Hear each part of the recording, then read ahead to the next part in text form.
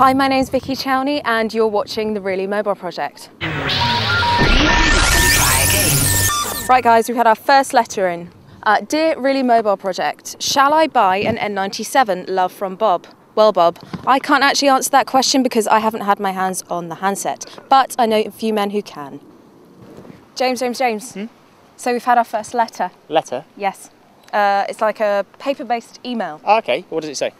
Uh, well, Bob wants to know Bob? if he should buy an N97.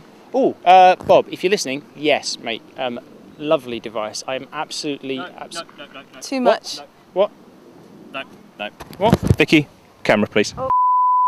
So Vicky's on camera. We've come to the pub, and I need to explain to you, Bob, why you shouldn't be buying this N97 because James Whatley is the wrongest man in Christendom ever. First of all, this screen, it's terrible. You can't see it in direct sunlight at all, and it's a resistive screen. That means you've got to actually push into it to make the keys be registered. Half the time I'm pressing buttons, they're not being re- they're not being recognised. It's really, really frustrating to use, especially when you want to be quick.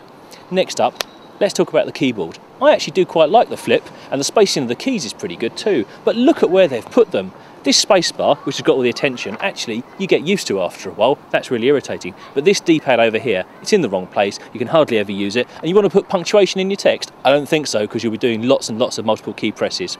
Last of all, let's talk about software.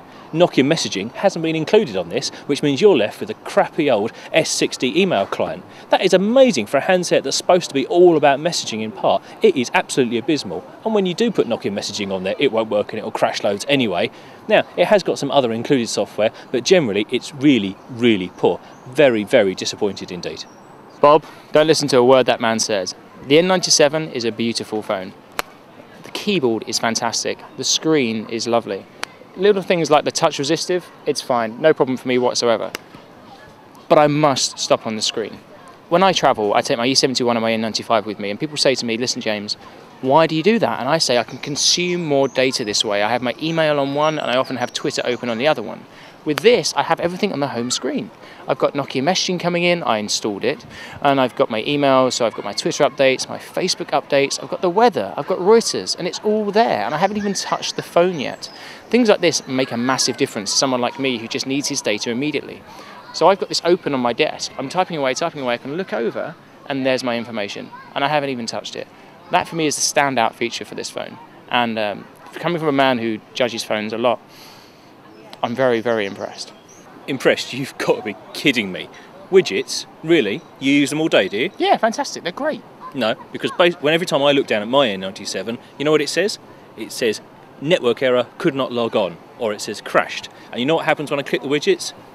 Nothing. It just crashes. Now, I honestly believe that Ben Smith had a different N97 to me. Um, ben Smith had a European one, I had a UK one. Um, I think the slight differences. Honestly, none of my widgets crashed on me at all. I was using Nokia messaging, which wasn't the N97 client, it's the 5800 client. I've got the BBC iPlayer as a widget as well, which didn't come on your version. So uh, all these little things, these small changes that have happened since you had your hands on the first version. Seriously. No, It's not good enough. It's not good enough. And you know why it's not good enough? Because it's too slow. When I click a widget, I want to go through and see my Facebook messages straight away. I don't want to sit there 30 seconds whilst it refreshes. It's not 30 seconds. This, this is. I can't believe how fast and responsive this N97 is. Seriously. Okay, okay, I, I've got the winner. Can you see this? Can you see what this is? It's a stylus. Hello, 1988. It's a stylus. My Okay. God, I can't believe they're still shipping handsets with styluses. You know why they ship a handset with a stylus? because the interface is so damn fiddly. Right. You need a point in order to make it work. No, no. Thing is, right? Where is that stylus? Where did you just get that from? Out of the box. You took that out of the box. This is Ben's N97. It's not on the phone. He hasn't needed it. Nokia have just put it in there to play safe. You don't need a stylus for this phone. They've just put it in there for people to use if they want to. It's a nice to have, not a must have. You don't even use the stylus. admittedly. Go on.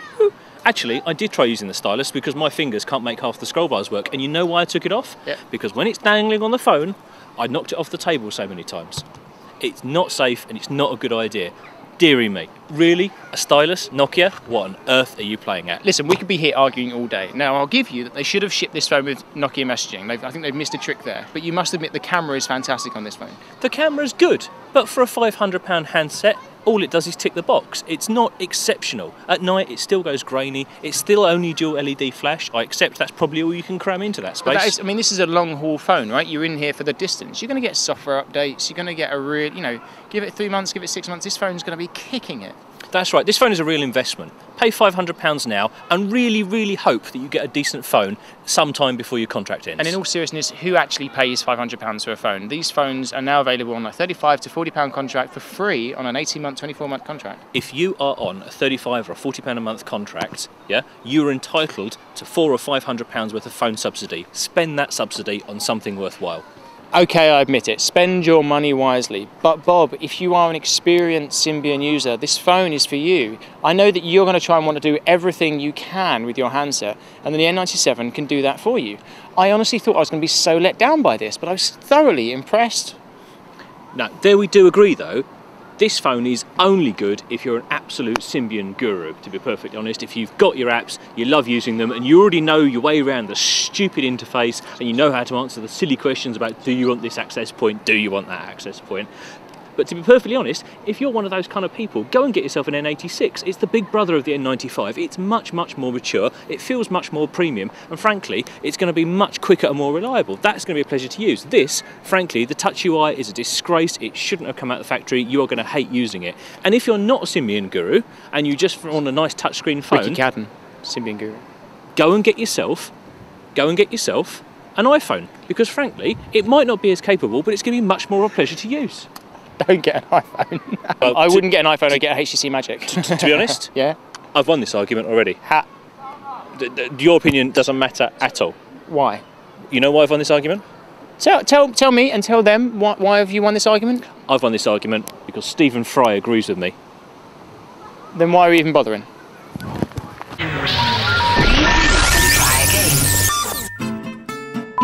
No, don't buy this phone, it's rubbish. If you buy this phone, I'll come round your house and do bad things to you. Can we start again?